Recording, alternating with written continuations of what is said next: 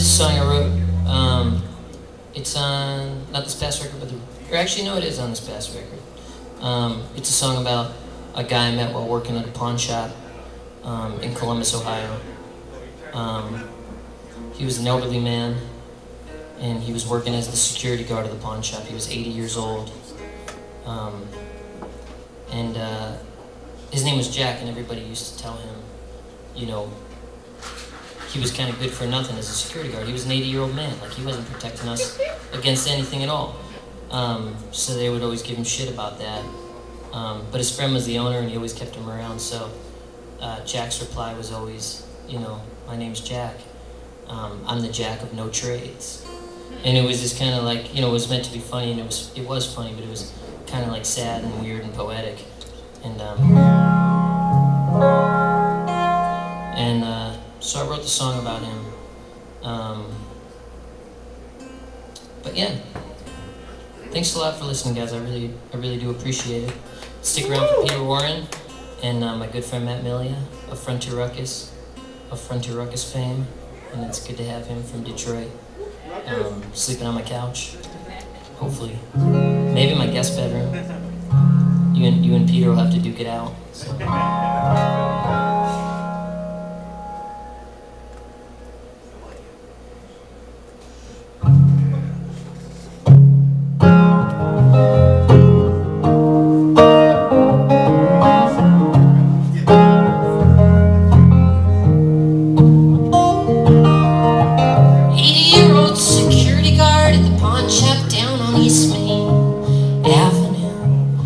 Am the oldest of my kind.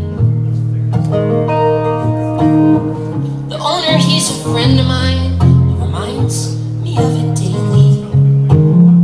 Saying, Jack, you're so damn lucky I'm alive. The other employees say, Jack, what the hell do you do all day? Sitting around and looking down.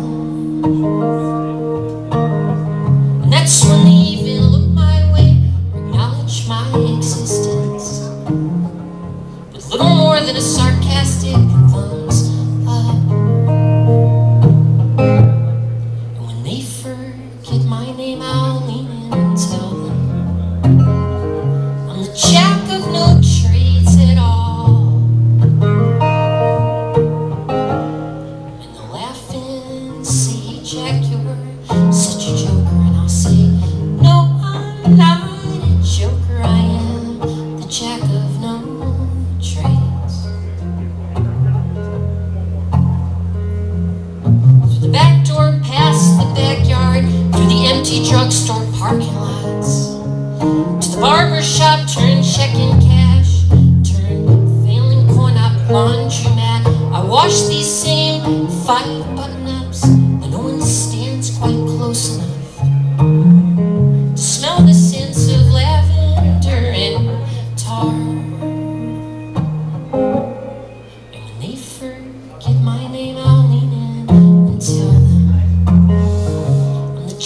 jack of